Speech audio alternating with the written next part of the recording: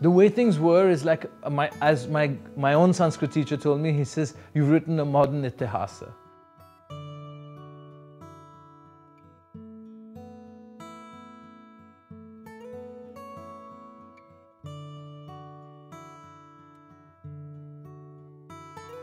There's, there's this amazing literary past. Right around, like here we are on the edge of Punjab, all around us, people for centuries have been composing literature, whether it was in Urdu or Sanskrit or whatever, and we have no relationship with it. We're like people who start in the same place, but we're beginning again, completely blind to what's come before. So there is an effort in this, um, this book for the Indian novel in English to be more aware of its literary origins, for, for it to somehow carry within it a little note, a little, a little voice from an, from an older, more classical India.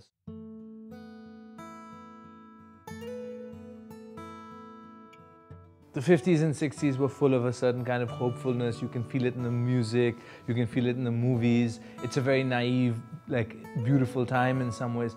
The moment to me that that, that dream where people were kind of rudely awakened from it, where there was this real realization that this was not what we had struggled so hard for, was 1975, where very directly the system that or the country that we'd strived for had been undermined in very real ways. And I think that a certain kind of toxicity had entered the system in 1975 that perhaps has never left it.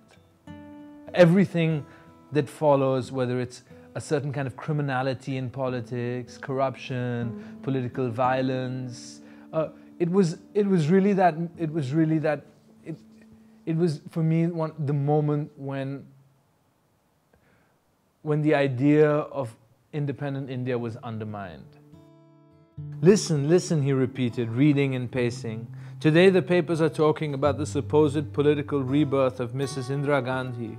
But when, he paused to smirk at Toby, but when I returned to India concealed in a wicker basket, the madam was basking in the fullness of her glory. Today perhaps we are already forgetting, sinking willingly into the insidious clouds of amnesia. But I remember and will set down, so on and so forth. But look at that phrase, Toby. The insidious clouds of amnesia. That is what gets this place time and again. It never learns from the past. It just keeps forgetting. Look at the emergency. That's what Rushdie's referring to. Nine years ago, the year you were married, I remember, and less than a decade later? Forgotten, it is true. A lifetime away. The witch is back in power, turning her evil eye to Punjab this time, which is already in flames, and no one says a thing. No one even remembers. It's maddening. It's enough to make you want to retire early, as my mother will have me do, and farm some land somewhere, live a quiet life, you know, of reading and contemplation.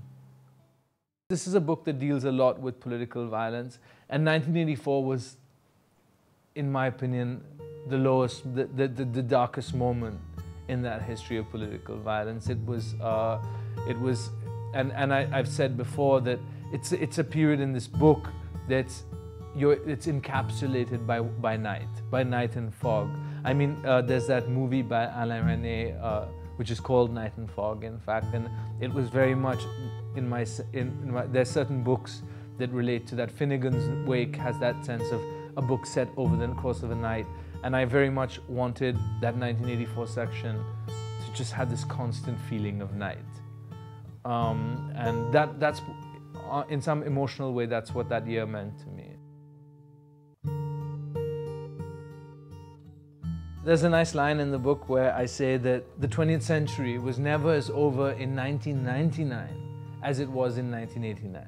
So 1989 for me, uh, you have, if you just cast your mind around, you have the, the fall of communism, you have the end of the Berlin, you have the, the, the breaking of the Berlin Wall, the beginning of the Kashmir problem properly uh, in 1989. I think the Mandal Commission that year as well. Uh, it's or maybe the defeat of Rajiv Gandhi in that election. So you have um, it's it's yeah, it's, it, it ends up being a very important year. In my, in my mind, it, it's, it's, it's, the, its most importance, its, its greatest importance is that it really is the end of the 20th century.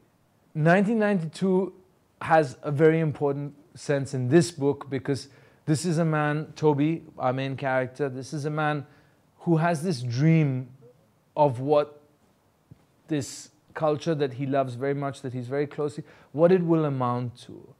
And, um, and suddenly, if we were to think of 1989 as the end of the 20th century and 1992 to be leading us into another age, we have uh, around us, obviously, um, the beginning of, of, of, of whatever's happen happening in Afghanistan.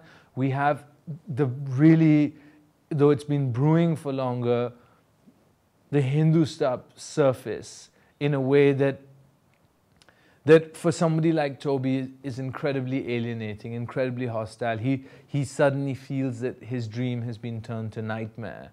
And uh, I, like, I, I feel like the other thing that makes 1992 significant is that we talk often, in fact, Rushdie, I remember saying this at one point. He said, if you'd asked me in the 60s what the future of religion was, I would have said that the one thing that's over, that's done and thus is never to return is religion. And, and he said, I couldn't believe that here I'd be sitting here and religion is back, God is back. So 1992 for me, like, it's in a sense, uh, it's that first step that the book takes into the future, you know, into what comes afterwards. It, it kind of leaves uh, the sphere of the book and you have uh, 1975 where you have the end of the Indian independent dream in some ways, and 1992 like a feeling of what will come next.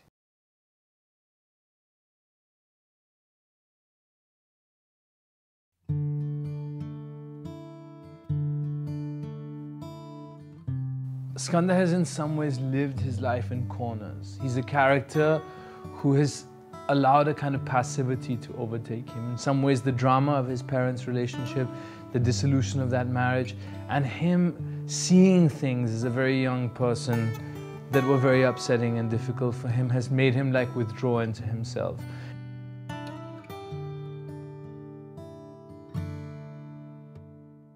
So Uma is one of my favorite characters in the book. I mean, uh, very early on you have this scene where uh, Theo Mackinson, who's a Skanda's Sanskrit professor, is talking about the birth of Kumara. And he says, well, it's called the birth of Kumara, but Kumara is never born in the course of these eight cantos. And Shiva, Shiva is Sthanum.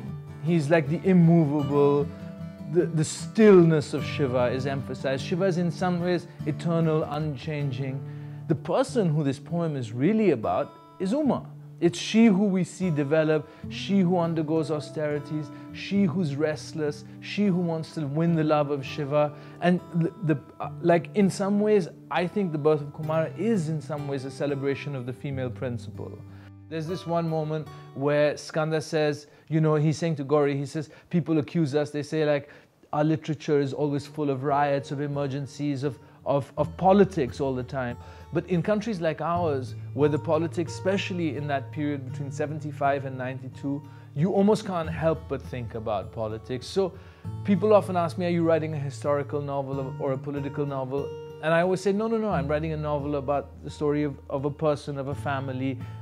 But there's no way, in my opinion, that you can write that kind of subcontinental novel and not have those big events intrude. They were, they were, they were not just for the characters in the book, but even for the people who lived through that time. They were very large events. You know, they were, they were part of, there was a great drama about them.